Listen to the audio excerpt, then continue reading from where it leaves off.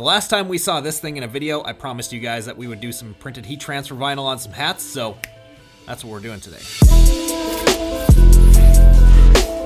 So we're back with the Stahls 360 IQ hat heat press. I've been putting this thing through the ringer since it showed up here, and I gotta say, everything that I had to say in the initial unboxing video and the first test of it 100% holds up. This thing is a monster of a press and it's easily one of my favorite pieces of equipment that I have now. There's also a link for you to check it out in the description below. I've run pretty much everything through this thing at this point, but the one thing I haven't tried yet is the printable heat transfer vinyl. And I've got a job coming up to do some hats where I think printable heat transfer vinyl is gonna be the best option to decorate them. So rather than use that job to test things out because I don't really feel good about that, I'm gonna do some pre-testing, make a couple things for myself today, and we'll show you how that goes.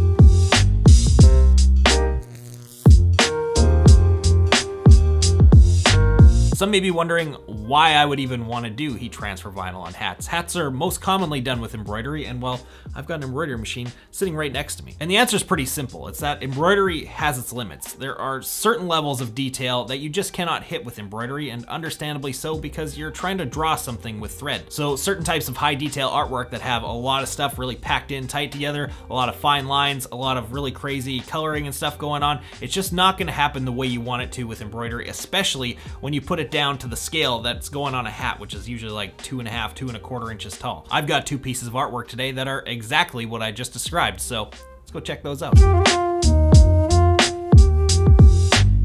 First one up is the skull design that we have. This one showed up on the front of our Seeker hoodies that we made a while back and is a sticker in the Seeker sticker pack. And to go back to my previous point real quick, I know this one doesn't work well with embroidery because I've tried it and it looked like total shit. There's just way too many little fine line details going on inside this thing for it to work well with embroidery at that size. And then we have my LS38 logo. This is kind of a retro slash chrome version of the logo. Definitely my favorite version to date, but while the basis of this logo is relatively simple and would work well with embroidery and a lot of other decoration methods, this version, however, is not gonna work with pretty much any of them because there's so much color going on in this thing. There's like eight or nine colors at least in it, all these crazy gradients and color shifts going on. There's really no effective way to reproduce this other than digitally printing it somehow. I've got to get these things set up and ready to send over to the printer, which is a great time to mention today's video sponsor, Skillshare. Skillshare is an online learning community filled with thousands of killer classes to help you learn pretty much any creative skill that you want to know. These designs were both made start to finish in Adobe Illustrator, but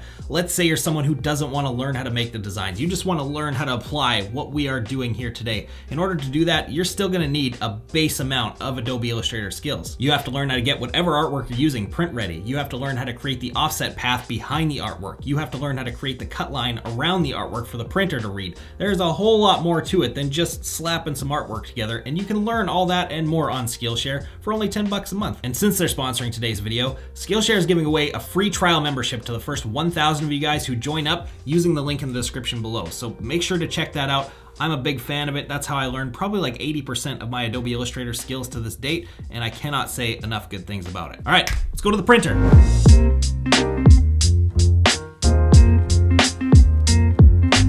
So for materials, I'm using two things today. The first is the Stahl Supertek Opaque. I believe this is their top tier printable heat transfer vinyl. This stuff is mega stretchy and out of heat transfer vinyls, probably the nicest hand feel that I've come across. This stuff has a crazy adhesive that'll stick to pretty much anything you heat apply it to, and they also make a dye blocker version of it for using on pure poly fabrics, sublimated garments, things like that, which is really commonly used on sports jerseys, and it's definitely something I wanna touch on in the future for doing some name and numbers on motocross jerseys.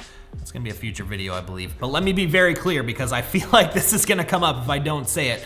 This stuff is not made to go in your desktop printer. This stuff is only formulated to be used with a solvent printer like this. There are materials out there that exist that go in a desktop inkjet printer. I'm gonna tell you right now, save your time, save your money. They are the worst things ever. If you want something that's gonna be like a one or two time use, then sure, but otherwise, it, that color is coming off there really quick. If you want properly printed vinyl heat transfers like we're gonna make here today, there are tons of companies out there that offer this service. We do it too, so if you want me to make them for you, I will do it. Just whatever you do, stay away from the desktop printer stuff. Oh yeah, and the other stuff we're using today is the Solutions mask. These two things are made to go together. The mask is just for the pre-heat press step. You'll see how that all works when we get to it. But if you wanna check either of these things out, I linked both of them down in the description for you. Well, let's get the stuff in the printer make some cool shit.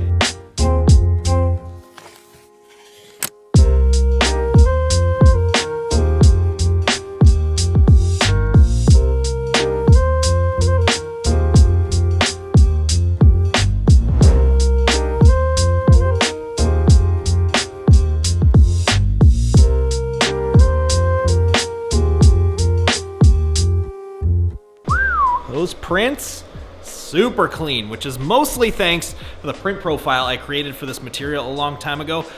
The stock one just, it wasn't up to my quality standard. The blacks weren't black enough, the colors weren't vibrant enough and solid enough, so I spent like a whole day with this material and created my own from scratch, and well, the proof is in the pudding. Not gonna cut and mask this stuff just yet though, because this stuff needs a full hour to gas out before you put that mask on there. And actually, I'm gonna give it two hours. This was an awesome tip that Josh from Stahls gave me recently, is that uh, anytime you're cutting something with a full bleed, like these images have, that give it a little bit of extra drying time. Otherwise, the edges will kind of curl and lift up, which was something I was having issues with before, which isn't really a problem. You can kind of get it stuck back down and get the mask on there. It's just, it's just a pain in the ass. So I'm gonna give it two hours. What the hell am I gonna do for two hours.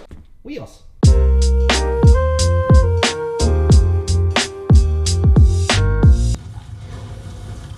Oh, come on, heal me, you nerds.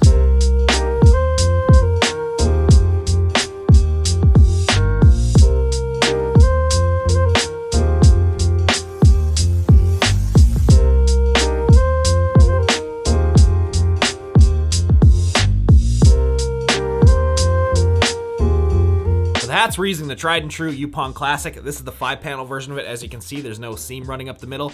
Anytime you're putting heat transfer vinyl on hats and putting the design, you know, front and center like this, I always recommend using a five panel. Heat transfer vinyl will work on a six panel and it'll lay itself into that seam no problem, but you end up with kind of like a butt crack running straight up the center of your design. It just, to me, it doesn't look that great. So anytime I'm putting a design front and center like this, I always use a five panel so that way I have a nice smooth surface to put it onto. So this stuff is kind of a two stage application, but I'm actually gonna do it in three, which is why I'm stoked to be doing it on this thing now. The way that this stuff applies is it goes on anywhere between 280 to 300 degrees, which is awesome because it's a kind of lower temperature application, so it makes it safer to put on a lot of different stuff, but it goes on for five seconds, then you lift the press, peel off the mask, then put it down for another five seconds to finish it off. So those are the two stages, but the third stage is actually a pre-press step I normally do for around three seconds or so, just to remove any moisture out of the hat and to kind of soften the front of the crown to conform better onto the platen before I put the design down on it. And with the old press, normally I'd be kind of just counting this out in my head as I went along, which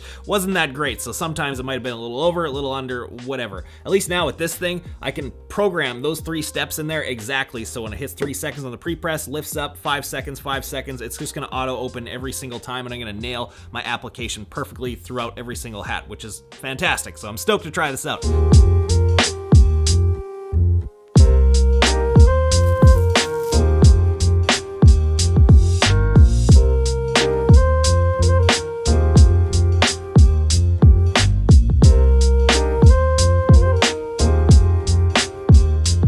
First try went pretty good. Definitely having a preset programmed like that made it go so much better. One little issue did come up though. I noticed that the buckram of the hat, which is like the, you know, hard crunchy stuff in the front, uh, that started to separate a little bit from the fabric itself, which means it was getting way too hot. And I have the bottom platen set to 290 and the top set to 290, which is obviously way too aggressive. So I'm gonna back down the bottom to like 200, 220 range and should solve that and we'll be good to go.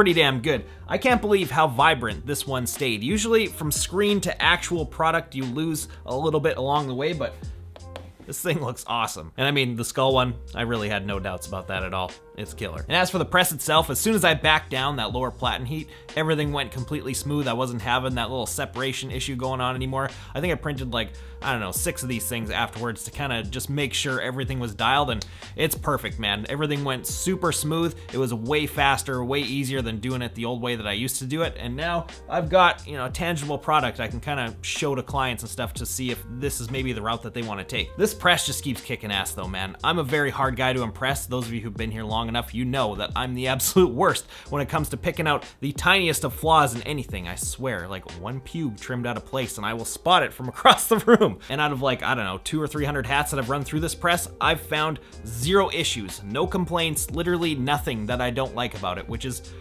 really mind-blowing to me. I kind of want to go to Stahls and line up their entire design team and just run through with the most triumphant of high fives for everybody. And actually, I really want to get a second one of these now. That way I can line up two of them side by side and have one of them loading, one of them printing, and just swap back and forth and rip through hats at warp speed. Again, there's a link to this press down in the description below, and there's a link to, well, literally everything I used in this video today in the description below. So if you want to get the exact same setup, I've got you covered. And if not, you just want someone to make you some of these, I'm your guy. And please, drop a like on this video for me, subscribe if you haven't already, ding the frickin' bell. Thanks for watching, we'll see you again in the next one. Every video. And I've chosen two pieces of artwork today. Son of a... I shouldn't get mad when my phone makes that noise. That's a, that's a good phone noise for once. This motherfucker is drifting over here. What the hell is all over my lens? Wheels, will you shut up, man? Come on. He's got his little paw just shaking the crap out of the door right now.